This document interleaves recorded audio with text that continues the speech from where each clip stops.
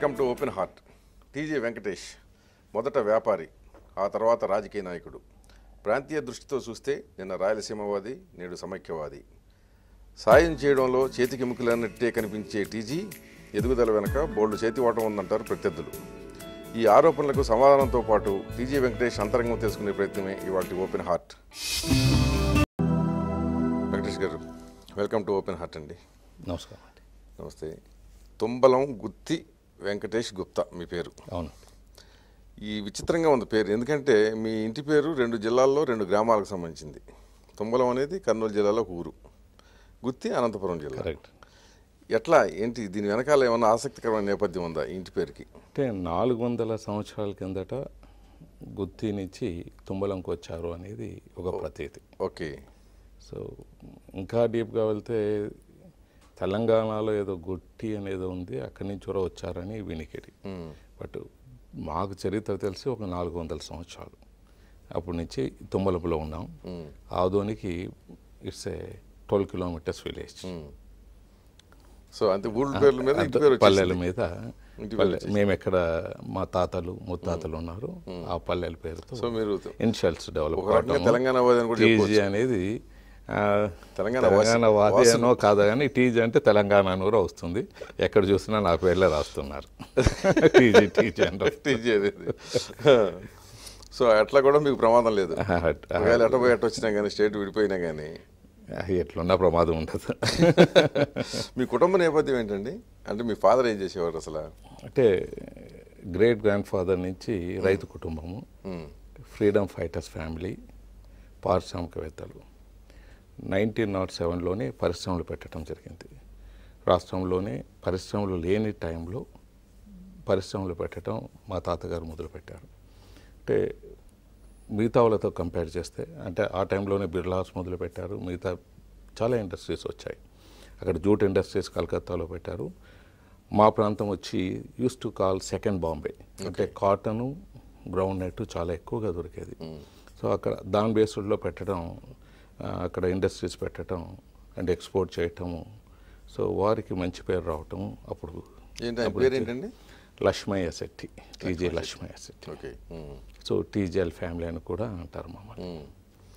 So మీరేం చదువుకున్నారు అసలు? బీకామ్ చదువుకున్నాం. సిఏ ఆర్టికల్స్ డిస్కంటిన్యూ చేస్తాం ఇప్పుడు మీరు బేసిక్గా వయసు అయ్యి ఉండి సారా వ్యాపారం అంటే చేశారు? సారా వ్యాపారం అంటే మాకు ఒక త్రీ స్టార్ హోటల్ ఉంది. త్రీ స్టార్ హోటల్లో లైసెన్స్ తీసుకునేదానికి అవకాశాలు ఉన్నాయి అవును. అంటే జనరల్గా త్రీ స్టార్ హోటల్లో అది ఇట్స్ అ కామన్ ఫ్యూచర్ సారా పెట్టడం. అన్నీ అందరూ అది బేసిక్ ప్రిన్సిపల్గా వెళ్ళిపోతాం. సో నేను వీళ్ళు పెట్టినప్పుడు అంటే కేఈ వాళ్ళకు నాకు ఫైట్ మొదలైనప్పుడు సిండికేట్ని బ్రేక్ చేసేదానికి. ఒక సిండికేట్ అంటే కర్నూలుగా ఎమ్మెల్యేలో ఉన్నప్పుడు అక్కడ ఒక సిండికేట్ నడిచింది. అంటే వ్యాపారస్తులందరూ సరాయి అమ్మే వ్యాపారస్తులందరూ ఒకటిగా అయిపోయి రేట్లు పెంచడం ఇది జరిగింది. దాన్ని బ్రేక్ చేసేదానికి మా స్టార్ హోటల్లో బార్ పెట్టి అది బ్రేక్ చేయటము తర్వాత ఎప్పుడు మేము రీజనబుల్లీ క్లోజ్ అంటే ఇదైపోయినాము అప్పుడు I have stopped that business. Star హోటల్లో ఆ బిజినెస్ లేదు. And I'm following one principle also. Last twelve years నుంచి non alcoholic non smoking allowance కూడా ఇస్తున్నాం. ప్రపంచంలో ఎవడు ఇవ్వటం లేదు. Two thousand employees per month twenty lakhs I'm paying. మీది యాక్చువల్గా ఏంటంటే మొత్తం అనలైజ్ చేస్తే మీది ఒక డిఫరెంట్గా ఒక విలక్షణమైన పర్సనాలిటీ అన్నిట్లోనూ మీ ప్రమేయం ఉంటుంది. జర్నలిజంలో అదే అన్నిట్లోనూ. ఏది వదల్లా మీరు? రాజకీయం వదలలేదు వ్యాపారం వదలలేదు క్రీడలు వదలలేదు. మద్య వ్యాపారం చేసి మానేసి ఉండొచ్చు తర్వాత విషయం. సో ప్రతి దాంట్లోనూ ఉంటుంది. రెండవది అన్నిటికంటే ముఖ్యమైనది ఏంటంటే నార్మల్గా వైశ్య కమ్యూనిటీకి చెందిన వాళ్ళు సాఫ్ట్గా ఉంటారు. వాళ్ళ పని ఏదో వాళ్ళు చేసుకుని పోతుంటారు. వాళ్ళ వ్యాపారం వాళ్ళు. మీ దగ్గరికి వచ్చేటప్పటికి ఏంటంటే టిపికల్ రాయలసీమ ఫ్యాక్షనిస్ట్ లాగానే మీరు డి అంటే డి అంటారు. ఎట్లా వచ్చింది అసలు మీకు ఈ తెంపరతనం? అంటే యాక్చువల్గా మా ఫాదర్ వాళ్ళు సిక్స్ మెంబర్స్ బ్రదర్స్. మీకు ముందే చెప్పాను ఫ్రీడమ్ ఫైటర్స్ వాళ్ళంతా మా తాతలు వాళ్ళంతా. ఆరు మంది అన్నదమ్ముల్లో ఆరు మంది ఒక్కొక్కరు ఒక్కొక్క దాంట్లో స్పెషలైజేషన్. ఒక రైతు కుటుంబం రైతు అంటే రైతు అంటే మాకు ఒక మూడు వేల ఎకరాల భూమి ఉండేది వాళ్ళు చూసుకునేవాళ్ళు. ఒకరు ఇండస్ట్రీస్ చూసుకునేవాళ్ళు ఒకరు ట్రేడింగ్ చూసుకునేవారు ఒకరు టోటల్గా పాలిటీషియన్గా ఉండేవాళ్ళు. సో ఈ విధంగా మున్సిపల్ చైర్మన్ ఉండేవారు. ఈ విధంగా ఒక్కొక్కరు ఒక్కొక్క దాంట్లో. మార్నింగ్ మమ్మల్ని ఒక అంకులు యోగా ఇవంతా ఇష్టం అనమాట స్పోర్ట్స్ యాక్టివిటీస్. మార్నింగ్ మమ్మల్ని ఫైవ్కే లేపించి యోగా మా ఇంటి ముందు గ్రౌండ్ ఉండేది పరిగెత్తించేవాడు ఆ, ఇవంతా మార్నింగ్ కర్రసం నేర్పించారు. సో కర్ర కర్రతో fighting reasonable we are good. So ఈ విధంగా అన్నిట్లో ఎక్స్పర్టైజ్ అందరు ఆరు మంది అన్నదమ్ములది. వాళ్ళ స్పెషలైజేషన్ ఏముందో లక్కీగా ఫార్చునేట్లీ నాకు అబ్బటం. సో నేను దాన్ని సద్వినియోగం చేసుకోవటం. అంటే ఆరు అన్నదం అందరూ ఒకే ఇంట్లో ఉండేవాళ్ళం. ఆరు మంది మా ధైర్యం వచ్చి మా అంకుల్ ఒక ఆయన. It's a politician also set అని ఈ number of times he was MLA also ఒక రాజు కోసిగి రాజు అనేవారు ఉండేవారు. ఆ కోసిగి అంటే మీరు చూసే ఫ్రాక్షన్ ఈ ఆర్లగడ్డ ఇవి కన్నా కోసిగి ఎక్కువ ఉండేది ఆ టైంలో సో మా ల్యాండ్స్ అక్కడ మా ల్యాండ్స్ అక్కడ అడ్డం పెట్టి అక్కడ కల్టివేషన్ చేయకుండా కొన్ని ఇబ్బందులు పడినప్పుడు సో అప్పటి నుంచి మా ఫ్యామిలీలో ఎదుర్కోవటం నేర్చుకోవటం. సో సెల్ఫ్ డిఫెన్స్ మరి ఫైటింగ్ రెండు అప్పటి నుంచి it is in the blood. Okay.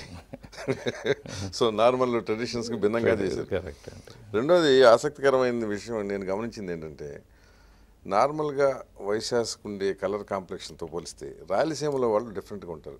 మీరు ఎప్పుడైనా స్టడీ చేశారు? మీరు జనరల్గా అబ్జర్వేషన్ ఎక్కువ మీకు. అన్ని విషయాలు అంటే అపార్ట్ ఫ్రమ్ పాలిటిక్స్ మిగతా కూడా చాలా అబ్జర్వ్ చేస్తుంటారు కదా? న్యాచురల్లీ ఇది అబ్జర్వ్ చేశారా?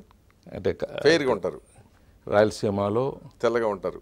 కమ్యూనిటీ అంటారా? Community as a whole. Reasonably కొద్దిగా అంటే మా కొద్దిగా కర్ణాటక బార్డర్ తగిలిన దగ్గర అంతా ఎందుకంటే కర్ణాటక బార్డర్ చిత్తూరు తీసుకోండి.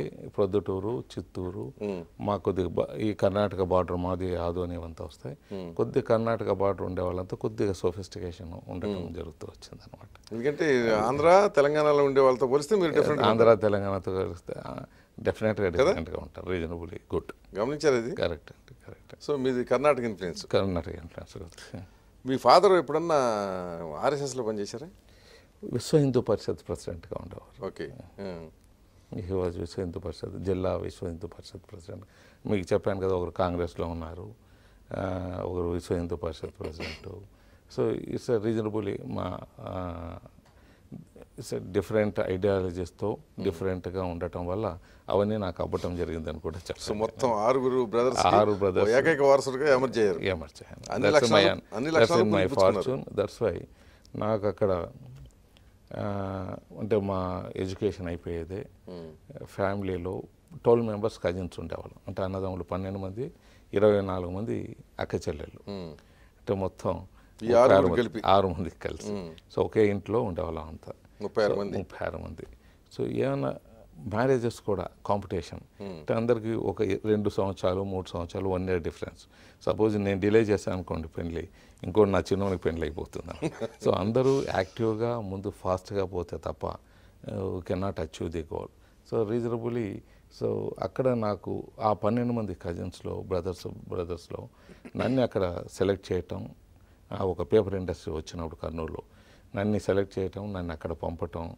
Because I acquainted all the brother all the uncles specialities నాకు ఆ అదృష్టం కలిసి వచ్చింది. అవకాశాలన్నీ అట్లా వచ్చింది. మీరు చూస్ చేసుకోవటమే తెలుగుదేశం చూస్ చేసుకున్నారు. ఏం రీజన్ ఏంటి? అంటే మరీ నేను అదే చెప్తానండి ఎందుకంటే మా ఫ్యామిలీలో అన్ని అన్ని- అన్ని పార్టీలకు సంబంధాలు ఉన్నాయి. సో అన్ని పార్టీలతో సంబంధాలు ఉన్నాయి. అంటే అన్ని పార్టీలు అంటే అప్పుడు ఉండేది సంబంధాలు ఓన్లీ రెండు party Telugu Congress, and Telugu Desam. Telugu Desam of late వచ్చింది లేకపోతే కాంగ్రెస్ ఉండేది.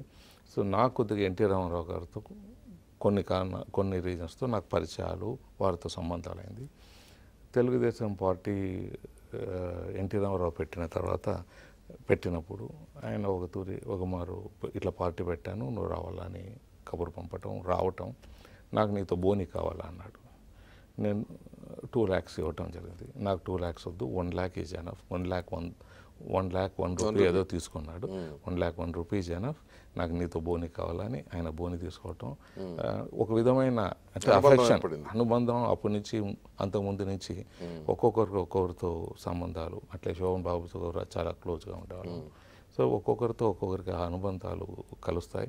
అనుబంధాలతో దానికి అట్రాక్ట్ అవుతూ పోతుంటాం వాళ్ళకి కానీ సంబంధించిన ఎన్టీఆర్ ఉన్నంత వరకు యాక్టివ్గా లేరుగా టీడీపీ ఎన్టీఆర్ ఉన్నప్పుడు ఏపీ ఎన్టీఆర్ గారు ఉన్నప్పుడు ఆయన పార్లమెంటు సీట్ ఇస్తానని కంటిన్యూస్గా ఫోర్స్ చేశారు.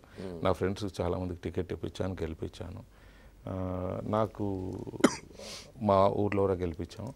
నాకు పార్లమెంటు సీటు కంటిన్యూస్గా ఆఫర్ చేస్తూ వచ్చారు. ఎమ్మెల్యే ఎవరో తీసుకోమన్నారు.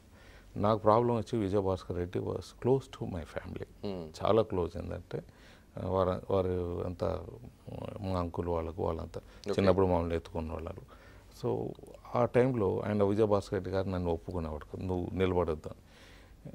నన్ను రానీడు.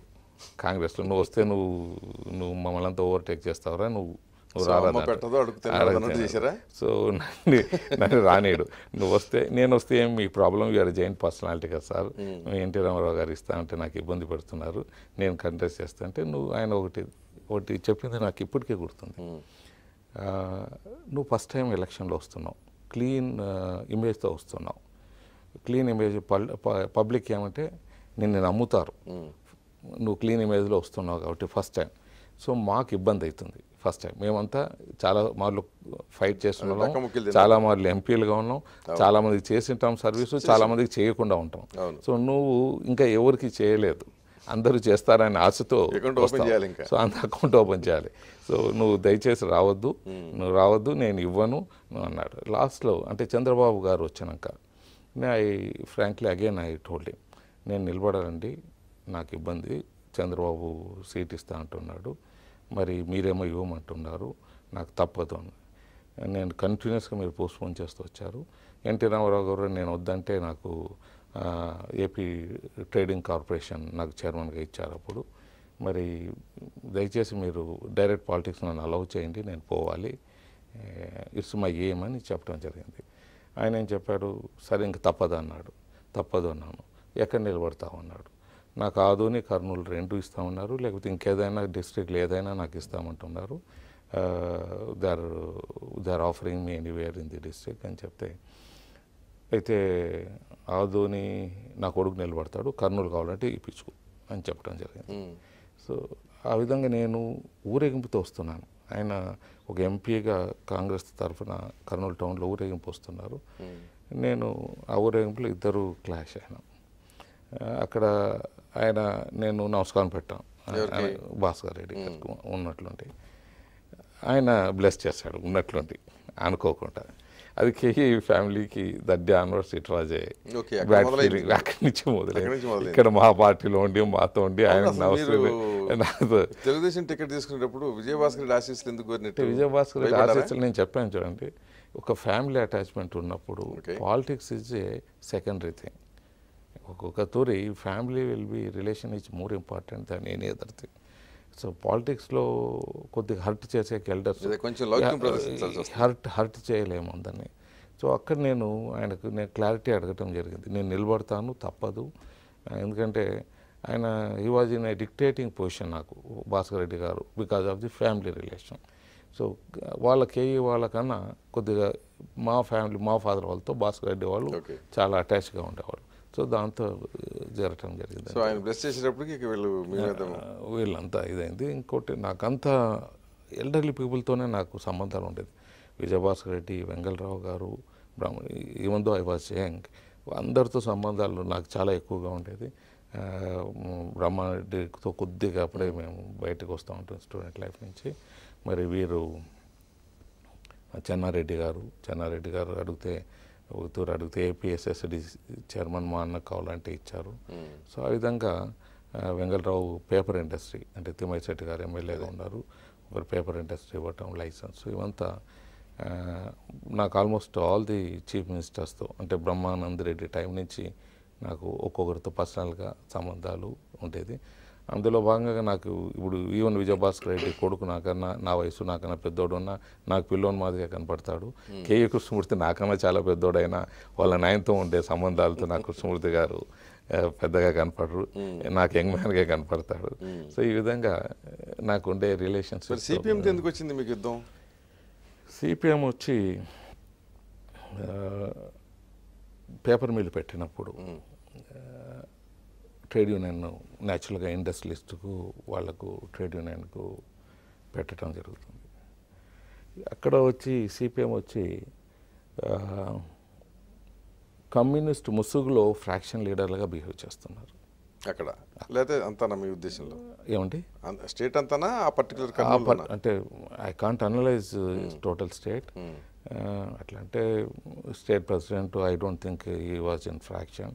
Or ఆ మైండ్ ఉన్నదని ఆయన చూస్తే పెద్ద మంచిగా కనపడతాడు. స్టేట్ ప్రెసిడెంట్ నేను కూడా చాలా మాటలు కలవటం జరిగింది. నాకు కలకత్తాలో సిపిఎం కేరళలో సిపిఎం లీడర్స్ కూడా చాలామంది పరిచయాలు ఉన్నాయి. అందరూ అట్లా ఉండేదానికి లేదు. ఎస్పెషల్లీ ఆ కర్నూలు డిస్టిక్లో this Gafoor was behaving different way. Gafoor గారు ఒక కమ్యూనల్గా అక్కడ ముస్లిం డామినేషన్ ఒక కమ్యూనల్ లీడర్ గాను ఒక కమ్యూనిస్టు ఫ్రాక్షన్ ముసుగులో కానీ బయలుదేరటం. ఆయన ఎక్కడ యూనియన్లు పెడితే అక్కడ మర్డర్స్ జరగటం. పానెంలో పోయాడు అక్కడ మర్డర్స్ జరగటం. రాయలసీమ పేపర్ మిల్లు పెట్టడం అక్కడ మర్డర్స్ జరగటం. సో ఈ విధంగా జరగటం వల్ల నాకు అదొక నా ఇండస్ట్రీలో ఒక లిఫ్ట్ అనమాట సో పేపర్ ఇండస్ట్రీ నాకు నేనున్నంత వరకు పొగ రాదంటే పొగ పొగ వస్తుందని నడిపినవాడిని. బంద్ అయితే వెయ్యి మందిని బయట నుంచి తెచ్చి నడిపినవాడిని నేను. Vasantha Gupta was the chairman నేను I was taking care of total day to day affairs my elder brother was chairman so ఎట్లా నడవదో చూస్తామని నడిపినవాడిని. అది నేనున్నంత వరకు ఎయిటీ ఫైవ్ ఎయిటీ సిక్స్ వరకు నేను ఆ లేడుగా అప్పటి వరకు ఉన్నాడు ఎయిటీ ఫైవ్ వరకు ట్రేడ్ యూనియన్ లీడర్గా ఉన్నాడు. అంటే he was contesting all the time probably ten twelve times every time use to ten thousand నుంచి మొదలు కావటం జరిగింది. రాజకీయాలకు విస్తరించింది. It has continued that one నేను ఎలక్షన్లో ఉన్నప్పుడు ఆయన ఉండటం. సో ఆ విధంగా కరపత్రాలు. కరపత్రాలు ఇవంతా it's day day one day. Day one day night business ఇంకా ఆ లెవెల్కి మేము దిగకపోతే రాష్ట్రానికి కాదు ఫైట్ అన్నప్పుడు ఆ లెవెల్కి కూడా దిగాల్సి వస్తుంది. ఏ లెవెల్కి ఉంటే ఆ లెవెల్కి దిగి ఫైట్ ఇవ్వాల్సి వస్తుంది. ఒక- ఒకేసారి ఇద్దరితో యుద్ధం చేస్తున్నారు అక్కడ. అంటే అది కేఈ వాళ్ళతో that time it was only ఇప్పుడు రాజీ పడిపోయారా? రాజీ అని లేకున్నా ఫైట్ ఈజ్ నాట్ దేర్ కోర్టులో మాత్రం కోర్టులో ఫైట్ అంటే జరుగుతుంది. కోటి కోటి రూపాయలు నేను తిట్టినందుకు డ్యామేజెస్ ఒకటి నడుస్తాం ఓకే దావా వేశారా మొన్న వరకు పేపర్లో చూసా ఏం సర్దుకోవచ్చు కదా అది కూడా రాజీ చేసుకోవచ్చు కదా? లెట్ అస్ సి కోటి రూపాయలు కాకపోతే ఎంత కొంత. మీరు మీరు అధికార పార్టీలో ఉన్నారు వాళ్ళు ప్రతిపక్షంలో ఉన్నారు కదా. చూడాలండి హెల్ప్ చేసినట్టు కూడా ఉంటుంది కదా. మీరు ఆ ఫ్యాక్షనిస్ట్ ఏరియాలో ఉండి ఫ్యాక్షనిస్టులతో ఫేస్ చేస్తూ వచ్చారు కదా. ఎప్పుడు కూడా మీరు హింసకు పాల్పడలేదా? Not even a single time. స్వయంగా కాకపోవచ్చు. చెప్పాను డిఫెన్స్లో ఉండొచ్చు కానీ ఎప్పుడు అటాకింగ్ మాత్రం never gone in the history so defence ఆత్మరక్షణ కోసం ఉండొచ్చు. ఆత్మరక్షణకు వాళ్ళని ఆత్మరక్షణ కోసం కాపాడుకోనికి మేము పోయిండొచ్చు కానీ మ్యాన్ పవర్ ఉండొచ్చు but it was never gone into the killing or cutting their hands or legs never never in this అంత దూరం వెళ్ళా ఒక పాయింట్తో ఆగిపోయారు. ఒక పాయింట్తోనే అంతతోనే ఉంటుంది అంతకన్నా ముందు అది పోలీస్ వాళ్ళకి ఓపెన్ చెప్తాం. అది will not go into మీరు అంటే ఇప్పుడు రీసెంట్ పరిణామాల విషయం తీసుకుంటే రాయలసీమ హక్కుల వేదిక అనేది ఒకటి స్థాపించారు మీరు. యాక్చువల్గా రాయలసీమలో మీకంటే senior leaders politicians leaders in the sense politicians ఉన్నారు. ఫ్యాక్షనిస్టులు ఉన్నారు. ఎక్కువ ఓల్డ్ పెట్టుకున్న వాళ్ళు ఉన్నారు అంటే స్టేట్ పాలిటిక్స్ మీద. వాళ్ళు ఎవ్వరు కాకుండా మీరు మాత్రమే ఎందుకు ప్రారంభించారు తెలంగాణ ఉద్యమానికి పోటీగా అంటే ఇట్స్ కోయిన్సిడెంట్ సెవెంటీ ఫోర్లోనే పేపర్ ఇండస్ట్రీస్ మేము మొదలుపెట్టినప్పుడు కర్నూలులో రాయలసీమ పేపర్ వెళ్ళని. మళ్ళీ రాయలసీమ నేను నేను బయటకు వచ్చినాక ఫ్యామిలీ నుంచి నా ఇండస్ట్రీ పెట్టినప్పుడు కూడా అన్ని రాయలసీమ బోర్డుతోనే ఇండస్ట్రీస్ అవడం సో అప్పటి నుంచి నాకు ఆ రాయలసీమ మీద ఒక అధ్యయనము రాయలసీమ చరిత్ర మీద కొద్దిగా అవగాహన కల్పించుకోవటం ఇక్కడ రాజధాని ఉంటే కర్నూలులో ఉండి రాజధాని ఉండి మరి మనం ఎందుకు వెనకబడి ఉన్నాం? పక్కనే హైదరాబాద్ ఎందుకు ఇంత డెవలప్ అవుతూ ఉంది? Because of the capital. So అట్లా బ్యాక్ వెళ్తూ హిస్టారికల్గా వెనకకు వెళ్తూ మరి కాశీనంద్ పంతులు గారి కాశీ నాగేశ్వరరావు గారి పంతులు గారి శ్రీబాగు ఒప్పందం వారి ఇంట్లో జరిగిన ఒప్పందాలు కానీ ఇవంతా అవగాహన చేసుకుంటూ హక్కుల కోసం అంటే రాయలసీమ అనేది ప్రాంతీయవాదిగా కనబడుతుంది. రాయలసీమ ప్రాంతంలో ఉండేవాడిని ప్రాంతీయవాది. అంటే రాయలసీమ ప్రాంతం సపరేట్ కావాలని ఎప్పుడు కోరినవాడిని కాదు. హక్కులు అని పెట్టుకున్నాను ఈ కన్ఫ్యూజన్ వస్తుందని. ఎందుకంటే అంతకుముందు లీడర్స్ రాయలసీమ సపరేట్ కావాలని. కొన్ని మార్లు ఫైట్ ఇవ్వటం వల్ల అది ఫెయిల్ అది ఫెయిల్ అది ఫెయిల్ అయి అది ఫెయిల్ కావటం ఇవంతా చకచక జరిగిపోవటం. సో అది మరి ఎక్కడ కన్ఫ్యూజన్ వస్తుందో ప్రజల్లో. అని చెప్పి నేను హక్కులను పెట్టుకున్నా. చాలామంది కొంతమంది కన్ఫ్యూజన్ అయ్యి నేను రాయలసీమ సపరేట్ అడుగుతున్నాను అనే భావంతో చాలామంది అనుకుంటుంటారు. నేను రాయలసీమ హక్కుల ఫైట్తోనే వెళ్తున్నాను. మరి ప్రాంతీయ డెవలప్మెంట్ కోసమే వెళ్ళాను కానీ మరి అవసరమైతే అంటే తెలంగాణ గన విడిపోతే అంటే తెలుగు మాట్లాడే వాళ్ళు ముక్కలైతే మరీ ఒకరు మోచేతి కింద బతకరాదు money letters leave separately.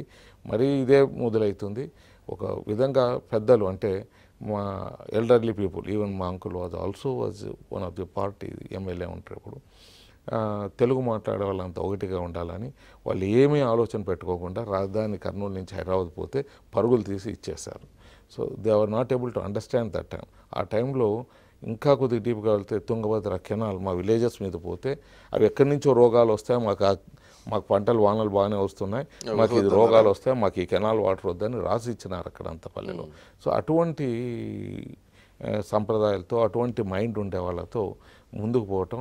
So పెద్దలు సాక్రిఫైజ్తో సమైక్య ఆంధ్రాని హై తెలంగాణ ప్రాంతం కూడా కలుపుకోవటం ఒక సాక్రిఫైస్ చేసి సో ఆ సాక్రిఫైజ్కు వాల్యూస్ లేనప్పుడు సపరేట్ అన్నప్పుడు ఇంకా మళ్ళీ ఇంకో తోరి మేము ఎందుకు మోసపోవాలి ఇప్పుడు సమైక్యవాదమా లేకపోతే రాయలసీమకి ఎట్లా అండి మీ ప్రియారిటీ ఏంటి ఇప్పుడు? సమైక్యవాదం ఫస్ట్ ప్రియారిటీనే కాదా?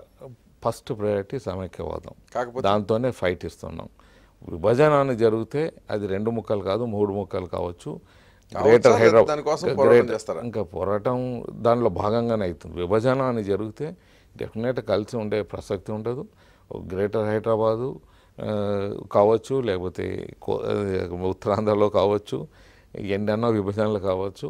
నెంబర్ వన్ నెంబర్ టూ వచ్చి విభజన అని జరిగితే ఒకవేళ ఎవరితోనో సమైక్యంగా ఉండాలంటే కోస్టల్ వాళ్ళతో మాకు రాజధాని ఇస్తారా? మా కృష్ణా వాటర్ రైట్స్ ఏమి ఇస్తారు? అవి ఒప్పందం జరిగిన తర్వాతే ముందుకు పోయేది ఉంటుంది. దాంట్లో ఏమాత్రము ఒకవేళ తెలంగాణ వాళ్ళతో ఉంటాము అంటే అంటే మా లీడర్లు కొంతమంది అవసరపడి? అంటే చీ అవసరం ఉండి అనే వాళ్ళు అనుకున్నా మన వాళ్ళ ఆత్రంతో అలా అనిపించుకో విధంగా కొద్దిగా అదే మనం మీద పడటం జరిగింది అది పొరపాటు అయింది. ఎప్పుడు నేను అన్నప్పుడు మీ మోచేతి కింద బతికే ప్రసక్తి లేదు అన్నప్పుడు ఎప్పుడు అనలేదు.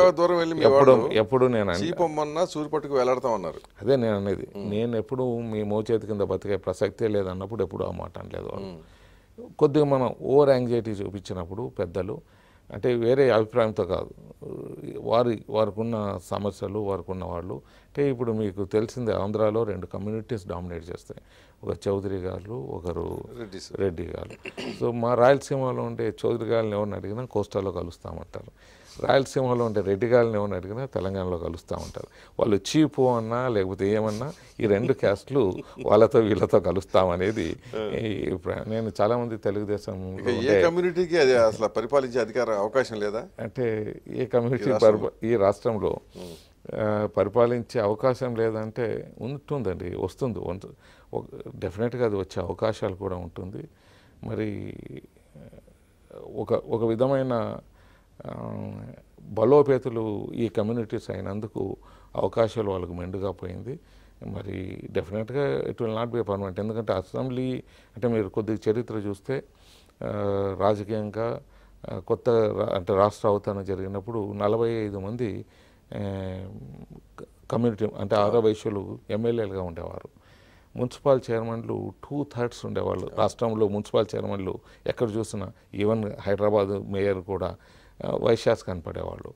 ఇప్పుడు అంతా నా- వేల మీద నాలుగు ఐదు మంది కనపడరు. Single digit. Single digit. So హిస్టారికల్గా change అవుతూ వస్తుంది. ఒక తూరి వాళ్ళు ఉంటారు ఒక తూరు ఉంటుంది. సైకిల్ కాల కాల cycle nobody can stop it that one అని. రోషే గారు సీఎం అయ్యారు. అవునండి. Opportunity definitely definitely it's rare opportunity ఒక విధమైన రోషయ్య గారు ఆ వాల్యూస్ పెంచుకున్నాడు. ఆయన రావటం ఎవరి ఘనత కాదు. ఆయన ఘనతే అది. ఆయన ఉన్న ఇన్బిల్ట్ కెపాసిటీతో ఆయనకున్న ప్రపంచ జ్ఞానంతో ఒక వాల్యూస్ పెంచుకుంటూ ఆయన రాగలిగాడని నేను చెప్పగలుగుతాను. ఆయన ఆయన కుదురుకొని ఇవ్వట్లేదు కదా పార్టీ వాళ్ళు. అంటే న్యాచురల్గానండి పొలిటికల్గా నంబర్ గేమ్ ఎమ్మెల్యేస్తో నడుస్తుంటుంది. అది కొద్దిగా డైజెస్ట్ చేసుకునేది కష్టంగా ఉంటుంది నంబర్ గేమ్ లేనప్పుడు. అది స్లోగా ఆయన మీరు చూసే ఉంటారు. ఆయన రాజకీయంగా చాణక్యుడు అని ఎవరు అంటారు కాబట్టి తప్పకుండా కుదురుకుంటాడు ఆయన. He himself he knows how to tackle the things అంటే కాంగ్రెస్ ప్రభుత్వంలో కంటిన్యూటీ అనేది ఎవరిని రూలర్స్గా ఒప్పుకోరు హైకమాండ్ అది జరుగుతున్న సత్యం. సో ఈయన elderly person eighty years person Rosha గారికి అవకాశాలు దండగా ఉంటుంది. ఆయనే ఒప్పుకుంటారు వాళ్ళు. ఈ టైంలో ఈ సిచ్యువేషన్లో ఒక ఎల్డర్లీ పర్సన్ రిక్వైర్డ్ వేరే వాళ్ళు ఎవరన్నా బలోపేతులు ఉంటే వాళ్ళకి ఏదైనా ఆల్టర్నేటివ్గా ఇస్తారు. కేంద్ర ప్రభుత్వంలో కానీ లేకపోతే రాష్ట్ర ప్రభుత్వంలో కానీ ఆల్టర్నేటివ్ పొజిషన్ ఇచ్చి వాళ్ళు డెవలప్ అయినాక ఆ స్థానంలో కూర్చోబెట్టే ప్రక్రియ మొదలవుతుందని చెప్పడం జరిగింది. అర్హత ఉన్న వాళ్ళు ఎవరు అంటే ఆ అర్హత అప్పుడు అందరికీ తెలిసిన విషయమే. జగన్ గారు క్లెయిమ్ చేయటం జగన్ గారికి అందరూ మద్దతు పలకటం అది రాష్ట్ర కాంగ్రెస్లో? అంటే రాష్ట్ర కాంగ్రెస్లో అంటే ఇప్పుడు అంటే గోయింగ్ డీప్ అంటే రాజశేఖర రెడ్డి గారు ద్వారా టికెట్లు ఇవ్వటం రా దేశంలో ఎక్కడా లేని విధంగా రాష్ట్రంలో ఒక విధమైన కాన్ఫిడెన్స్తో రాజశేఖర రెడ్డి గారు టికెట్లు ఆల్మోస్ట్ నైంటీ నైన్ పర్సెంట్ ఆయన టికెట్లు ఇవ్వటం. టికెట్లు ఆయన ద్వారా చేతి కింద ద్వారా వచ్చినప్పుడు న్యాచురల్గా మన కల్చర్ మన ఇండియన్ కల్చర్ అభిమానంతో ఉండేది సహజంగా ఉంటుంది. దాంతో ఆ అటాచ్మెంట్ ఆ ఫ్యామిలీకి జరగటం జరిగింది. సో న్యాచురల్గా అప్పుడు పబ్ రీజనబుల్ అంటే reasonable time has taken now అంటే హై కమాండ్ అనేది ఒకటి ఉంది ఇప్పుడు. హై కమాండ్ చెప్పినట్లు మనకు తప్పదు వినాల్సి వస్తుంది అని మీకు ఇప్పుడు సింప్లిఫై చేశారు ప్రణబ్ ముఖర్జీ గారు మాకు చెప్పినప్పుడు చిదంబరం గారు. అదే పరిస్థితి అందరికీ అర్థమై ఉంటుందని నేను అనుకుంటాను. అంటే అట్లా కాదు. ఎందుకంటే పార్టీ టికెట్లు ఇచ్చినప్పటికీ కూడా పార్టీ అదే అధినేతల మీద తిరుగుబాటు చేసిన సందర్భాలు మన రాష్ట్రంలో ఉన్నాయి. ఇది ఒకటే క్రైటీరియా అని మీరు భావిస్తున్నారా? లేదా ఇంకా వేరే క్రైటీరియాస్ ఉన్నాయా అనేది వెంకటేష్ గారు ఇందాక అడిగినట్టు టికెట్లు ఇవ్వటమే క్రైటీరియా అనుకునేటట్టయితే లాయల్టీకి విధేయులుగా ఉండటానికి. ఈ రాష్ట్రంలోనే టికెట్లు ఇచ్చిన అధినేత మీదే తిరుగుబాట్లు జరిగిన సందర్భాలు ఉన్నాయి. సో బట్ ఇక్కడ కాంగ్రెస్ పార్టీకి విషయం వచ్చేటప్పటికి రాజశేఖర రెడ్డి గారి కుటుంబం విషయం వచ్చేటప్పటికి అందుకు భిన్నంగా విధేయత కొనసాగడానికి కారణం ఏంటి? అంటే చాలా కారణాలు ఉన్నాయండి.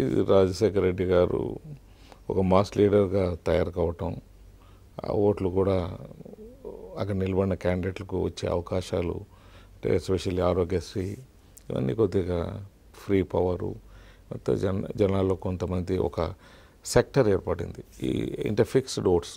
Minority votes so ఆయన చేసిండే ఘనకార్యాలు తప్పకుండా it will help the winning కాంగ్రెస్లో మనం పోయిన విన్నింగ్ ఎలక్షన్స్లో లోక్సభ ఎన్నికల కంటే రాష్ట్ర ఎన్నికల్లోనూ తక్కువ వచ్చినాయి కాంగ్రెస్ అంటే మామూలుగా సెకండ్ టైం నిలబడామండి సెకండ్ టైం నిలబడి చాలా మంది సెకండ్ టైం సెకండ్ టైం నిలబడి అంటే నాట్ ది క్యాండిడేట్ పార్ అంటే పార్టీ రూలింగ్ పార్టీ ఎప్పుడు కొత్త పార్టీ ఇంకేమైనా కొత్తవి ఇస్తాయి. ఈ పార్టీ ఇచ్చేసింది. ప్రజలు కూడా స్మార్ట్ అయిపోయారు. సో కొత్త ఏమైనా ఇస్తారని ఓటు శాతం తగ్గి ఆయన చిరంజీవి ఆ, ఆ రోజుల్లో చిరంజీవి గారు రావటం మరి చంద్రబాబు గారు విజృంభించి ఇంటికి ఇంత ఇచ్చేస్తాను అని చెప్పి డబ్బులు ఇవ్వటం అని చెప్పింది. అల్టిమేట్గా ప్రజలు చూసేది మెయిన్ స్టేట్ డెవలప్మెంట్ కన్నా ఇండివిజువల్గా మాకేం బెనిఫిట్ వస్తుంది అనేది పద్ధతి మారిపోయింది. సో దాంతో everybody trying to encash the individual votes so state దేశం గురించి మాట్లాడేదానికన్నా నీకు నేను వస్తే నీకు టీవీ వస్తుంది. అంటే మీరు అలవాటు చేశారు. నీకు- వస్తే మీరు అట్లా అలవాటు చేశారు జనాన్ని. అంటే ముందు అంటే మీరంటే ఐ- యథా రాజా తథా ప్రజ ఉండేది. ఇప్పుడు యథా ప్రజా తథా. ప్రజలకు కావాల్సింది అది. రాజులు కూడా అదే మాదిరి తయారు చేస్తున్నారు అంతే సో ఇప్పుడు డిఫరెంట్ ప్రజలకి ఏం కావాలో వాళ్ళు అనౌన్స్ చేస్తున్నారు. ఓట్లు తీసుకుంటున్నారు. దీనికి అంతం ఇప్పుడు ప్రతి ఒక్కటి ఎక్కడో ఒక దగ్గర ఫుల్ స్టాప్ వస్తుందండి. మీరు హిస్టారికల్గా ఏదైనా తీసుకోండి. అది ఎస్పెషల్లీ మన కంట్రీలో మన కాన్స్టిట్యూషన్ అన్ఇమాజినబుల్ స్ట్రెంగ్త్ ఉండే కాన్స్టిట్యూషన్ మనది దీంట్లో ఎవరు ప్రెసిడెంట్ ఆఫ్ ఇండియా పవర్ఫుల్లా ప్రైమ్ మినిస్టర్ పవర్ఫుల్లా లేకపోతే సుప్రీంకోర్టు జడ్జి పవర్ఫుల్ అనే దానికి అంతు పట్టేంది అనమాట ఒక్కొక్క టైంలో ఒక్కొక్కరు సుప్రీం అయిపోతుంటారు. సో ఇటువంటి బ్యాలెన్సింగ్ ఉండే ఇది ఎక్కడ మేము ఎరగము. ఏ కంట్రీలో కానీ లేదు డెమోక్రటిక్ కంట్రీలో. సో డెఫినెట్గా రీ అడ్జస్ట్ అయితే వస్తుంది. ఇప్పుడు మీరు కర్నూలు జిల్లాలో చాకచక్యంగా చాణక్యతనంతో నెట్టుకొచ్చినట్టుగా ఇప్పుడు రోషయ్య గారికి అండగా కాంగ్రెస్లో కూడా ఆయనకి మెజార్టీని సంపా సమకూర్చి పెట్టడానికి ఏమైనా ప్రయత్నం చేయకూడదా? అంటే మెజారిటీ అంటే ఇప్పుడు ఏమవుతుందంటే అంటే ఇప్పుడు ఆయన ఎమ్మెల్యేలంతా విధేయులుగా మారడానికి అంటే రైట్ అండి. ఒక విధమైన సబ్జెక్ట్లో అలవాటు పడ్డారు. అంటే ఒక రాజశేఖర రెడ్డి చనిపోయిన సబ్జెక్టు ఎవడు డైజెస్ట్ చేసుకోలేకపోయాడు. సో దాంతో కొంతమంది ఏం చేశారంటే నెగిటివ్ మాట్లాడేది. అంటే అంటే ఒక రాజశేఖర రెడ్డికి ఆత్మశాంతి కలుగుతుందనే ఫీలింగు లేకపోతే ఏదో అక్కడ ఉండేవారికి నెగిటివ్ మాట్లాడితే రా రోషే ఎవరు? రాజశేఖర రెడ్డికి సంబంధించిన వాడే రోషే గారు. ఆయన ఎవరు? కొత్త కాదు. ఉండే ఎమ్మెల్యేలు ఆయన ఒకరు. రోషే గారు పోతే జగన్కి వచ్చేటట్లయితే వాళ్ళు ఆలోచించవచ్చు అది అవకాశం లేదు. సో ఆ అవకాశం లేనప్పుడు వీళ్ళు గుంపులు చేరి మాట్లాడినప్పుడు నాదేమంటే నేను అక్కడ ఉన్నాను అనుకోండి మై ప్రజెన్స్ ఇస్ దేర్ ఆ నెగిటివ్ అనేది జీరో అయితే వస్తుంది అనమాట that way I'm helpful to him కానీ అంటే నేనుగా గ్రూప్ని ఈ గ్రూప్ బ్రేక్ చేసి ఆ గ్రూప్ చేయటము ఆ గ్రూప్ చేసి ఈ గ్రూప్ బ్రేక్ చేయటం. ప్రతి ఒక్కరికి it has gone into ever but mind Venkatesh గారు రోషా గారికి నూటికి నూరు పాళ్ళు. ఆంతరంగికుడు అనేది అది అనుకోకుండా మెంట్లో పోయింది. నేను జరిగే సత్యాన్ని ఆ రోజు చెప్పాడు. కానీ it he's govern in ever but is mind నేను అంతరి ఆ, పూర్తిగా నేను నమ్మిన బంటుగా వాళ్ళకందరికీ కనపడటం? ఆ, అంటే అక్కడ కనపడేటప్పటికి ఎమ్మెల్యేలంతా న్యాచురల్గా ఒకవేళ నెగిటివ్ మాట్లాడాలన్నా లేకపోతే ఆయనకు రోషా గారికి మేము నెగిటివ్ కాదు పాజిటివ్ మెసేజ్ పోవాలని నాతో? అప్రోచ్ అంటే ఆ విధంగా నాతో సందేశం. అంటే సందేశం పోదు కానీ ఆ విధంగా నమ్మకం. వారికి ఆ ఒక విధంగా నమ్మకంతో వారు ఆ- నెగిటివ్ మైండ్ని పాజిటివ్గా definitely it I'm successful in that way proximity to power అనేది చాలా కీలకమైంది. అవునండి. అధికారానికి చేరువుగా ఉండటం అనేది. అధికారంలో ఉండక్కర్లా. అధికారానికి చేరు చేరువులో ఉండటం అనేది వల్ల కూడా చాలా అధికారం చలాయించవచ్చు మేబీ. అంటే ఆల్రెడీ ఈ పాటికి మీకు అనుభవంలోకి వచ్చి ఉంటుంది. అంటే ఇప్పుడు ఇదే సింపుల్. ఇప్పుడు ఎమ్మెల్యేలు వచ్చి మేము రోషే గారికి వ్యతిరేకం కాదు ఒక మాట అక్కడ కొద్దిగా కన్వే చేయండి అని అంటమే మీ పలుకుబడి పెంచడం అంటే కరెక్ట్ అనండి. ఇది ఏమైందంటే అట్లాగే ఇప్పుడు ఎవరికైనా ఏదైనా పని ఉందనుకోండి వెంకటేష్ గారు కొంచెం ఒక మాట చెప్తారా ఎందుకంటే బికాజ్ మీకు అక్కడ అధికారానికి చేరువలో ఉన్నారు మీరు. అంటే ప్రాక్సిమిటీ ఉంది మీకు. అంటే నాకు అది మీరు వినియోగిస్తారా లేదా అనేది నేను కాదు నాకు దీన్ని పెద్దగా దానికి అంత అర్థమురా చేసుకోలేకుండా పోతున్నాను. ఒక విధంగా ఆయన పెద్ద ఆయన అని ఒక ఏజ్లో పెద్ద ఆయన ఆపర్చునిటీ వచ్చింది సర్వీస్ చేసే మైండ్ ఉంది చేయాలి అని ఒక విధంగా వెళ్ళటం కానీ ఏదో అధికారానికి దగ్గర అయిపోతున్నాను అధికారం చలాయించాలనేది ఆ మైండ్ కూడా మాకు డెవలప్ కాలేదు. ఎందుకంటే అధికారంలోనే ఉన్నాం ఒకవేళ ఎమ్మెల్యే ఉండని ఉండకపోని ఫ్యామిలీలో మేము చైల్డ్హుడ్ అప్పటి నుంచి అధికారంలో వేరు. అధికారం అధికార పార్టీలో వేరు. అధికార పార్టీనే కాకుండా ఒక విధమైన రెస్పెక్ట్ అప్పుడు పారిశ్రామికవేత్తలు అంటే అంటే చంద్రబాబు నాయుడు గారు ముఖ్యమంత్రి అయ్యేంత వరకు పారిశ్రామికవేత్తలకు చాలా ఇంపార్టెన్స్ ఉండేది మా రాయలసీమ రాష్ట్రంలో మా ఆదోని అంటే నాట్ ఈవెన్ కర్నూలు ఆదోని నుంచి కూడా చక్రం చెప్పిన రోజులు ఉన్నాయి రాష్ట్ర రాష్ట్ర పరిపాలన పారిశ్రామికవేత్తలు అంటే అంత గౌరవం ఉండేది. మీకు ఇంకా కొద్దిగా ఎగ్జాంపుల్ చెప్పాలంటే వెంగళరావు గారు చీఫ్ మినిస్టర్ ఉన్నప్పుడు పెండగంటి గారు నందాల నుంచి కంటెస్ట్ చేస్తున్నారు. ఒక ఇరవై ఐదు వేల రూపాయలు వారికి కొద్దిగా పంపండి. పెద్ద అమౌంట్ కాదు అది. ఆ రోజుల్లో అంటే అంత ఇంపార్టెన్స్ ఉండేది. ఇరవై ఐదు వేల రూపాయలు ఆయనకు పంపండి అంటే సార్ అది ఏర్పాటు చేస్తాం దానికి ప్రాబ్లం లేదు. అని చెప్పటం. ఆయన అయిపోయినాక ఎలక్షన్స్ అయిపోయినాక గుర్తుపెట్టుకొని ఎప్పుడు నువ్వు ఏం అడగలేదు పనులు ఏమన్నా అడగండి అడగలేదు వెంకటేష్ అని ఆయన అడగటం. మాకు అసలు ఏం అడగాలని తెలియని రోజులు అవి. అంటే ఆయన ఇమ్మీడియట్ అంతా రియాక్ట్ అప్పటికి రాజకీయాలకి ఇప్పటికి రాజకీయాలు. ఇంకా కొద్దిగా కంటిన్యూటీ చేస్తా సబ్జెక్ట్లో వెంగళరావు ఢిల్లీ నుంచి రాజకీయాలు మానుకొని వచ్చిన తర్వాత ఆయన నా కారులో అంబాసిడర్ కావాలి కావాలి కొత్తది.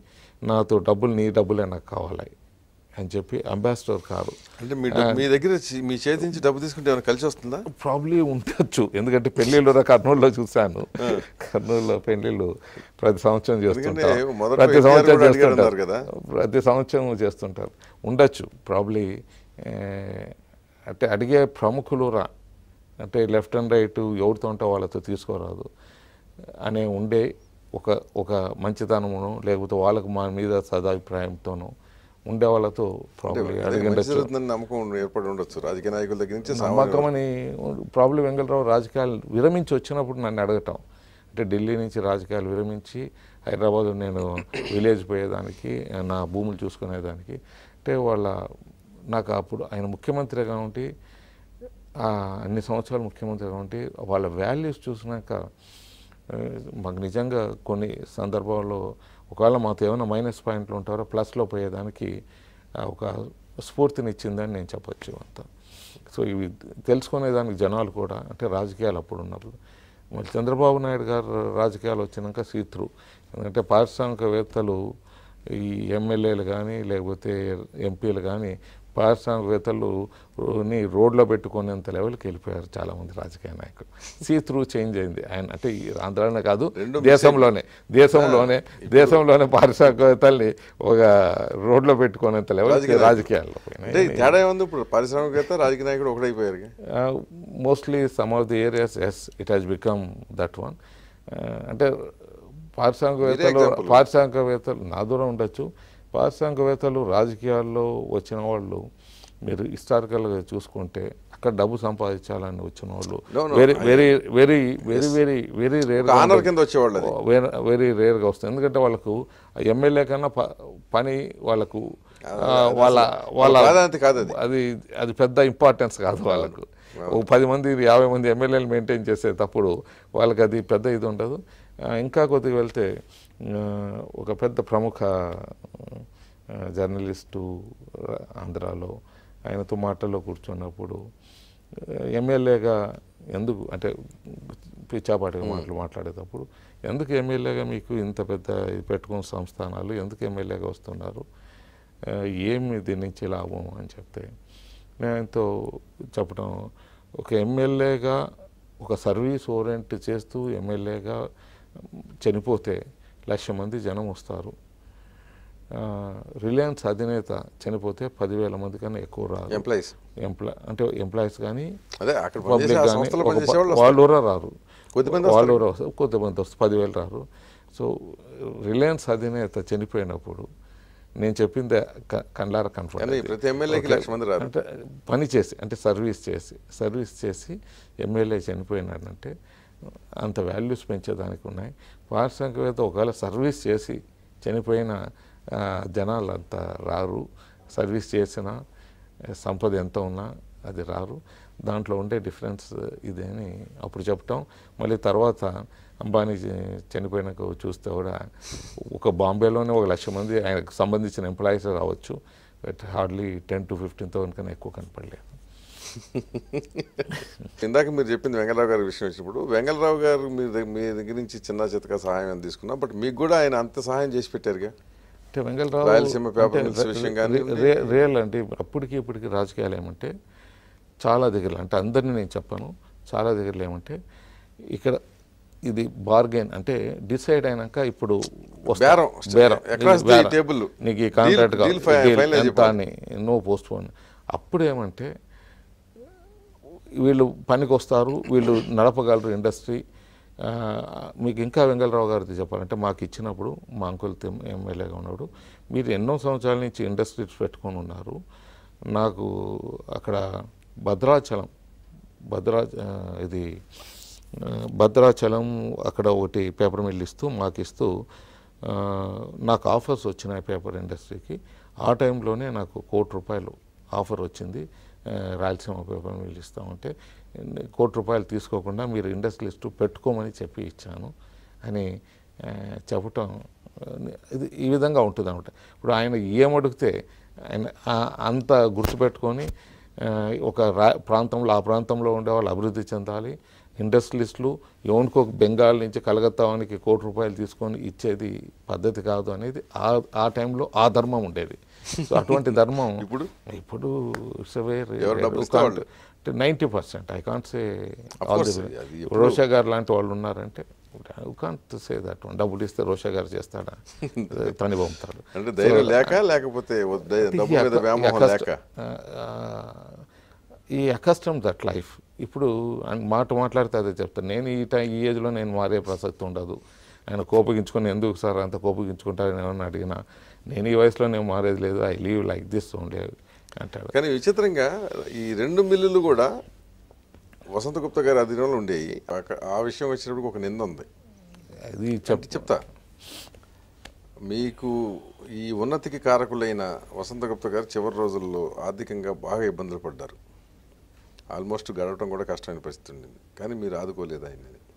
అంటే మీ one way wrong one way is correct ఆదుకోవటం అంటే పేపర్ ఇండస్ట్రీ ఆయన చేతి నుంచి అంటే. నాకు రాలేదు అదే మీరు అటు రాయలసీమ రాయలసీమ అనేది రాయలసీమ దేశం రాయలసీమ ప్రాంతం నాదే అయిపోయినట్లు ఉంటుంది ప్రజల్లో.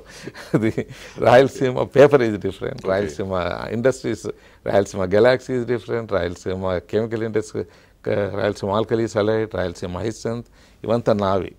Paper industry Rayalaseema paper industry Vasant Gupta ఆధ్వర్యంలో ఉన్నప్పుడు జాయింట్ లో ఉన్నది అది.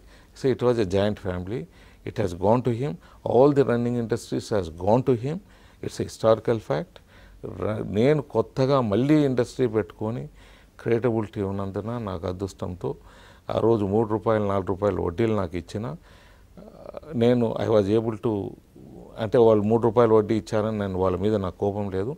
ఆ టైంలో నాకు ఇవ్వటమే ఘనత. సో ఇచ్చినా నేను have come up in my life వాళ్ళ బ్లెస్సింగ్తో పెద్దల బ్లెస్సింగ్తో మరి వసంత్ గుప్తా గారు నాకు ఈజ్ ఎ గాడ్ ఫాదర్ నన్ను తీసుకొని వచ్చినవాడు ఆయనకు కుమారులు వచ్చినాక న్యాచురల్గా అదే హిస్టరీ రిపీట్ అయినట్లు. మీ పేపర్లో కూడా పేపర్ ఇండస్ట్రీ మారిపోయినాక కూడా జ్యోతిలో పేపర్ ఇండస్ట్రీ మారిపోయినాక ఇటీవల ఒక six seven years back paper industry మారిపోయి ఆ రిజర్వ్ బ్యాంకులో మేనేజ్మెంట్లు మారిపోయి మేనేజ్మెంట్లు మారిపోయాక రాయలసీమ బోర్డు కనపడేది నాకు లింక్ చేస్తూ పెద్దగా మెయిన్ పేజీలో రావటం. మెయిన్ పేజీలో వస్తే నేను అడ్వర్టైజ్మెంట్ డబ్బులు ఖర్చు పెట్టి నేను మళ్ళీ మీకు అది రీజాయిండర్ ఇస్తే రీజాయిండర్. రీజాయిండర్ ఇస్తే మళ్ళీ నెక్స్ట్ డే మళ్ళీ మీ పేపర్లో ఎవరో రిపోర్టర్ వచ్చి మళ్ళీ దాని మీద వెంకటేష్కి అంకితం కడితే అది ఇట్లా ఉంటాయి. ఆ రాయలసీమ అనేది I got a patent right. దాంట్లో మంచిది నేను తీసుకోవాల్సి వస్తుంది. చెడు తీసుకోవాల్సి వస్తుంది. వసంత్ గుప్తా ఫ్యామిలీకి కానీ దానికి కానీ పేపర్ మిల్లు మళ్ళీ బీఎఫ్ఆర్లో ఫైట్ చేసేదానికి డబ్బులు ఏర్పాటు చేసింది. డీడీలు చెక్కులు ఎనిమిది కోట్లు నా ఏర్పాటు చేసింది ఇంకా హిస్టారికల్గా ఉన్నది. అది ఏమవుతుందంటే ఆయనకు ఒక లెవెల్లో వ్యక్తిగతంగా ఆయన very intelligent man very good man ఆయనకు వీళ్ళతో ఫేస్ చేయలేకపోయాడు ఈ లేబర్తో ఫ్యామిలీ డివైడ్ అయిపోయినాక వీళ్ళతో ఈ labour లీడర్లతో because I was fighting day one day night this level when I came out that one వీళ్ళతో ఇబ్బందులు పడ్డాడు. ఒక తూరు విష సరుకుల్లో ఎంటర్ అయితే ఏదైనా అంతే. Any business in the world.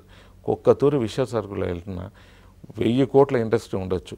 వెయ్యి కోట్ల ఇండస్ట్రీ ఒక ఇరవై కోట్ల వర్కింగ్ క్యాపిటల్తో నడుస్తూ ఉంటుంది క్యాష్తో. సో వెయ్యి కోట్లు పెట్టుబడి పెట్టి ఆ ఇరవై కోట్ల రూపాయలు అంత లేకుండా ఉంది అంటే వెయ్యి కోట్ల industry will become bankrupt. So it has happened in Vasant Gupta time same thing. So ఈయన సమ్ శాలరీస్ కొద్దిగా డిలే అయ్యేది. నేను డబ్బులు ఇవ్వలేను. కొద్దిగా లేట్ అవుతా ఉంది అని నేను చెప్పేది. పేపర్ మిల్ బంద్ చేయటం జరిగింది. పేపర్ మిల్ బంద్ చేసేదే working capital funds has been became zero రామాయణము భారతంలో విడిపోయినట్లే. పెద్ద it was a family it was divided నేను విడిపోయినాక మూడు సంవత్సరాలు నడిచింది ఆ కంపెనీ. తర్వాత బిఎఫ్ఆర్ తర్వాత మేనేజ్మెంట్లు మారటం జరిగింది. Not only Vasant Gupta it's all so many brothers are there so many cousins are there I'm taking care of them దాంట్లో వెనకపోయే ప్రసక్తే లేదు. కంపెనీలు ఫోర్డ్ చేశారు వాటిలో ఇన్వెస్ట్ చేసిన వాళ్ళు నష్టపోయారు అనేది. ఏది not even one has been lost that one. Companies amalgamate చేసాం అంటే నేను బేసిక్గా ఏమవుతుందంటే నంబర్ ఆఫ్ ఇండస్ట్రీస్ అవగాం విండ్ పవర్ మ్యానుఫ్యాక్చరింగ్ వెళ్ళాను లేకపోతే ఇది వెళ్ళాను. మిగతా వాళ్ళకు నాకు తేడా ఉంటే అందరికీ నూటికి ఒకరికో ఇద్దరికో ఆ ఫార్చ్యూన్ కలిగి వస్తుంది టు గో హై ర్యాంక్ నేను ఇండస్ట్రీలో అంటే పెద్ద ఇండస్ట్రీలో ఎంటర్ అయినప్పుడు అప్పుడు only few industries one in Andhra Pradesh so నేను పెద్ద ఫార్చ్యూన్ కాదు నేను. అంటే స్ట్రైట్ పోలేదు. బట్ అన్ఫార్చునేట్ మ్యానూరా కాదు. సో నేను ఎక్కువగా నేను సంపాదించలేకపోయినాను. అట్ ది సేమ్ టైం నేను మునిగిపోలేదు ఎక్కడ మునిగిపోకుండా బయటపడుతూ వచ్చాను. సో దాంతో నేను ఇండస్ట్రీస్ ఏం చేశాను అంటే ఏమన్నా బాగలేదంటే ఇమీడియట్గా అమాల్గమేట్ చేయటం జరిగిందే కానీ ఇండస్ట్రీస్ బ్యాంక్ అనే సఫర్ కాలేదంటారా? బ్యాంక్ రప్ట్ అనటము లేకపోతే బ్యాంక్ ఒక కంపెనీ మూత మూయటము ఒక కంపెనీ బ్యాంక్ రప్ట్ అయ్యటము అనేది లేకుండా అంటే ఇప్పుడు షేర్స్ ఇన్వెస్ట్ చేసి ఉంటారు డెఫినెట్గా సఫర్ అవుతారు ఎందుకు కాదంటే సఫర్ అంటే రెండు మూడు రకాలు ఉంటాయి ఇప్పుడు నేను కానీ ఆ ఫార్చ్యూన్లో ఆ పది పర్సెంట్లో ఉంటే share value would been gone four hundred rupees five hundred rupees. ఆ ఫార్చ్యూన్లో లేను కాబట్టి థర్టీ రూపీస్ ఫార్టీ రూపీస్లో ఉంటుంది. సో ఒక విధంగా నష్టమే. ఆ టెన్ అప్పుడు వేసిన పది రూపాయలు ఇంకో దాంట్లో వేసింటే రిలయన్స్లోనో లేకపోతే జిఎంఆర్లోనో వేసింటే టూ హండ్రెడ్ రూపీస్ అయ్యేది? సత్యంలోనే వేసింటే అయ్యేది. మాతో వేసినందుకు ముప్పై నలభై రూపాయలు ఉంటుంది. సో ఈ విధంగా they are some people definitely unfortunate to come to me అది నేను మునిగిపోలేదు అనేది రీజనబుల్లీ ఫార్చునేట్ అని చెప్పొచ్చు అంతే. ఉన్న పళంగా చెప్పాలంటే మీ నెట్వర్క్ ఎంత? అంటే నెట్వర్క్ అంటే తమాషగా ఉంటుంది మరి నెట్వర్క్ రన్ అవుతుంటే కంపెనీ నెట్వర్క్ కాదు. యాజ్ ఏ టీజీ వెంకటేష్ అంటే వ్యక్తిగతంగా. అంటే naturally company reflects on my individual network because my family కంపెనీతో ఉన్న కంపెనీలతో ఉండే షేర్లు కంపెనీ- వ్యక్తిగతంగా that way it's not much I can say it will not be much that way company reasonably. Reasonable I have to see I have to say before మళ్ళీ దీంట్లో ఏముందో చూసుకొని చెప్పాల్సి వస్తుంది ఎలక్షన్ దాంట్లో. అయితే. ఫిఫ్టీన్ క్రోర్స్ ఏదో. అంటే అఫిడవిట్ ఉంది. ఏదో no, అప్పుడు no, affidavit మార్కెట్ వాల్యూ నేను ఇప్పుడు అప్పుడు ఉండే వాల్యూ ఇప్పుడు నేను చెప్తే అప్పుడు రీజనబుల్ ఇప్పుడు లేదు. వెయ్యి రూపాయలు తక్కువ ఉందని మా ఫ్రెండ్స్ పట్టుకుంటారు. అఫిడవిట్ ఏంటంటే మీకు పది ఎకరాలు ఉందా అని అన్నారు అనుకోండి పది ఎకరాలు మీరు ఆ రోజు కోటి రూపాయలు అనొచ్చు వాళ్ళు పది కోట్లు అని చెప్పొచ్చు.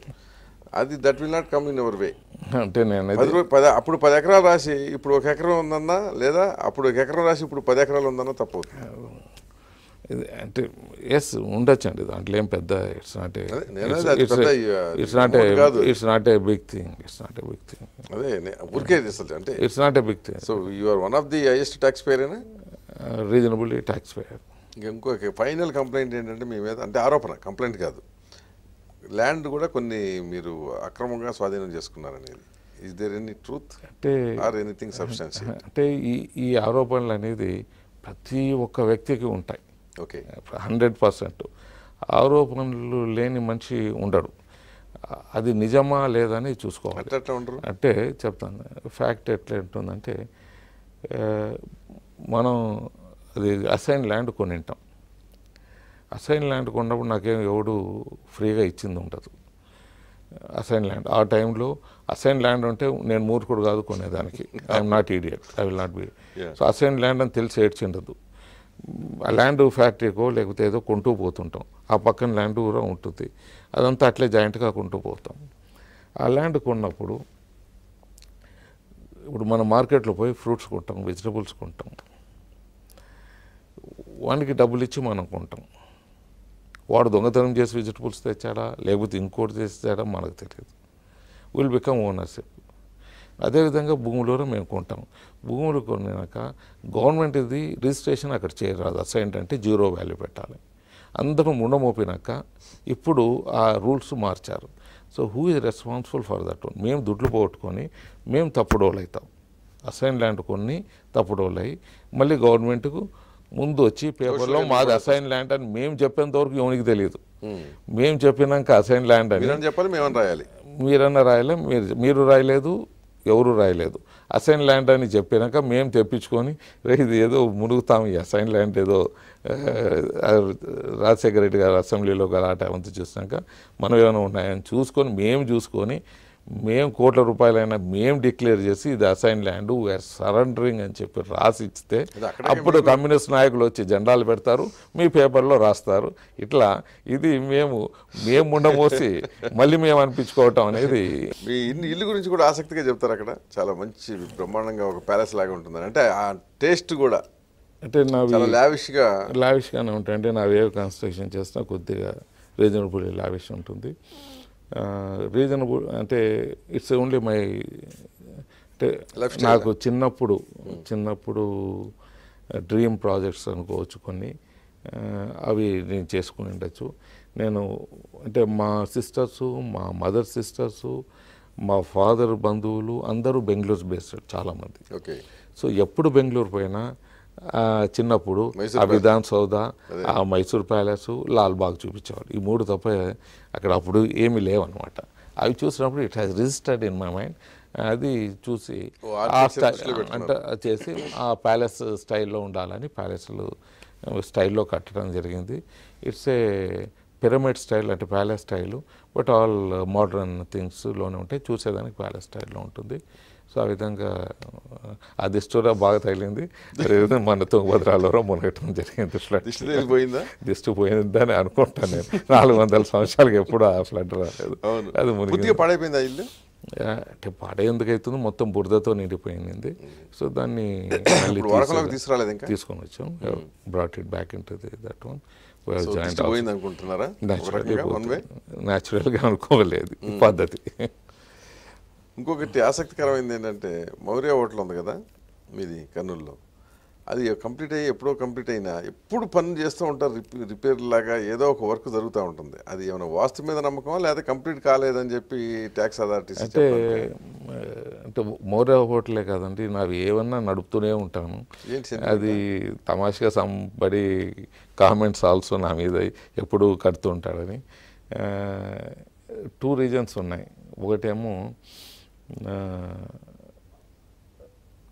అంటే నేను పర్సనల్గా ఈ కన్స్ట్రక్షన్లో నాకు ఒక అభిలాష ఉంది. నేను పర్సనల్గా నేను కొద్దిగా నాకు టేస్ట్ ఉంది అది. సో నా ఇండివిజువల్ టేస్ట్ మీద నేను నాకు ఫ్రీ ఉన్నప్పుడంతా దాన్ని రీజనబుల్గా రిక్వైర్మెంట్స్ ముందు కంప్లీట్ చేసేస్తాను. దాన్ని షో చేసేది అవంతా ఆ, కొద్దిగా కంటిన్యూటీ ప్రాసెస్లో నేను పెడతాను? అది అసలు మొత్తం షోనే లేకుండా పోతుంది అంటే continue continuous process example hotel ఉంది. నేను కూడా అక్కడ స్టే చేసిన కానీ అక్కడ పార్క్ చేసుకోవాలన్నా ఎన్ని స్కెఫోల్డ్స్ అన్నీ ఉంటాయి. అంటే పని జరుగుతూ ఉంటుంది. ఇన్కన్వీనియంట్గా కూడా ఉంటుంది కదా. ఉండొచ్చు రీజనబుల్ అందం కనపడదు. అంటే రీజనబుల్గా ఉండొచ్చు బట్ సెంటిమెంట్ ఉండి ఉండాలి. సెంటిమెంట్ ఏం లేదండి. ఫుల్ స్టాప్ అవుతుంటాయి అట్లా ఎట్లా ఉంటుంది కంటిన్యూ సినిమాలు బాగా చూస్తారంట మీరు? సండే సండే ఊర్లో ఉంటే మా సెట్టిగాళ్ళకి అలవాటు. సండే సినిమాకి వెళ్ళేసేసి ఫ్యామిలీతో తీసుకొని పోయి మరి ఆరు రోజులు మేము ఎన్ని అవర్స్ వర్క్ చేసినా వాళ్ళు నాట్ అబ్జెక్ట్. కర్నూలు ఇప్పుడు హైదరాబాదు బెంగళూరు అయితే రిలాక్సేషన్ డిఫరెంట్ ఉంటుంది. ఇక్కడ ఏదో గార్డెన్స్ ఉంటాయి పార్కులు ఉంటాయి లేకపోతే ఫ్యామిలీతో వెళ్ళే ప్లేసెస్ ఉంటాయి. అక్కడ ఒక సినిమా థియేటర్స్ తప్ప పెద్ద ఎంటర్టైన్మెంట్ ఏముంటుందో కానీ బట్ మీరు సినిమాలు చూడటం ఏమో కానీ సినిమా హీరోలు హీరోయిన్లు అందరూ మీ దగ్గరికి వస్తారు కదా. అంటే హీరోయిన్లు ఏం రావటం లేదంటే అంటే వేరే ఉద్దేశంతో అంటలేదు. అదే మరి ఇట్ గివ్స్ రాంగ్ మెసేజ్. అంటే ముందు నుంచి అంటే నా క్లాస్మేట్ ఫాదర్ వచ్చి ఆదోన్లో నేను ఉన్నప్పుడే వాళ్ళ నాయన ప్రొడ్యూసర్గా ఉండేవాడు. వాళ్ళ ఇంటికి జగ్గయ్య వాళ్ళంతా వచ్చేవాళ్ళు. సో చిన్నప్పటి నుంచి ఒక ఒక ఫ్యాషన్ కాదు సంబంధాలు కొద్దిగా రావటం జరిగింది. బట్ మాకు థియేటర్స్ అంటే మా ఫాదర్ వాళ్ళు ఉన్నప్పుడే సెవెంటీ ఇయర్స్ బ్యాకే థియేటర్స్ కట్టిన వాళ్ళు. సో సినిమా లైన్లో ఆల్రెడీ ఇట్ ఈస్ దేర్. నా ఆరు సినిమాలు ఉన్నాయి క- కర్నూలులో. కానీ never gone in to production line చాలామంది స్నేహితులు ఉన్నారు సినిమా ఫీల్డ్లో but never I have not gone in to the cinema production one of the reason is it's educative reason also. I was care to go that one ఎందుకంటే మా వైశ్య కమ్యూనిటీలో అంటే మా కమ్యూనిటీలో గ్లామర్కు దూరంగానే ఉంటారు. మరి ఆ గ్లామర్ వలలో పడితే చింతామణి సినిమా చూసింటారు ఆ గ్లామర్ వలలో పడినారంటే అన్ని ఎత్తిపోతలు బతకాలు అవుతాయి సో దాంతో నా కొడుకు ఏమన్నా ఎక్కడన్నా నా కొడుకు నా మనవడు ఈ లైన్లో పోయినారంటే కావచ్చు.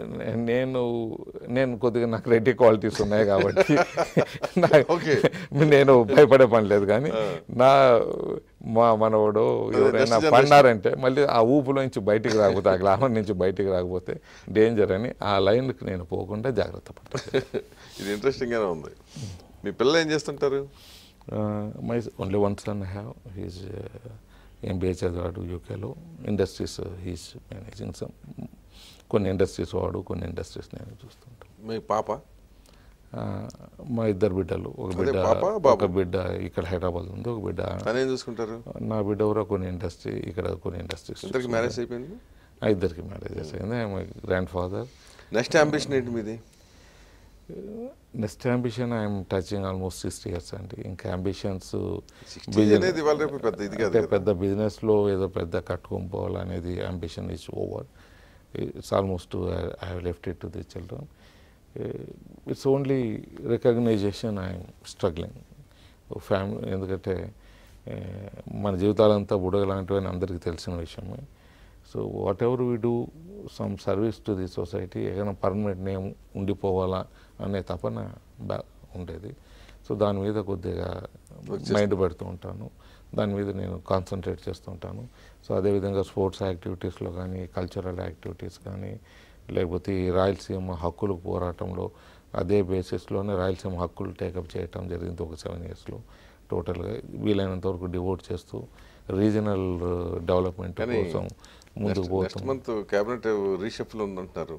మీరేం ఆశించట్లేదా? అంటే ఇది రాజకీయాల్లో వచ్చినాక ఇది సన్యాసి లైఫ్ కాదు. And anybody if you want to help also it has to be some position is required. అందరూ ఆశించినట్లే నేను ఆశిస్తాను. అండ్?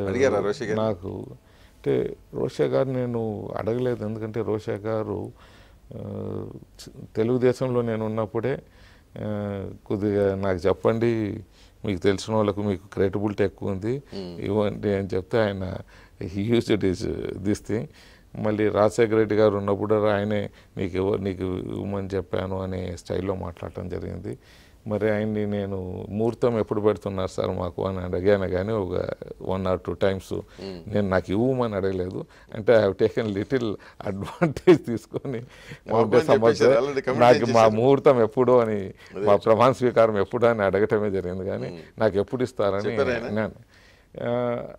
అంటే ఆయ- ఆయన కూడా మేధావి. కాబట్టి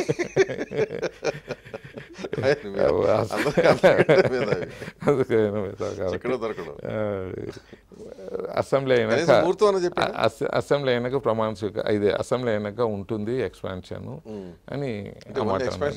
అసెంబ్లీ అయినాక డిసిషన్ తీసుకుంటామని వినప విని వినపడిన వాయిస్తో నాకు వినపడింది సో మీరు ఆ కోరిక కూడా నెరవేరాలని కోరుకుంటూ ఈ- కార్యక్రమంలో పార్టిసిపేట్ చేసినందుకు థ్యాంక్స్. Thank you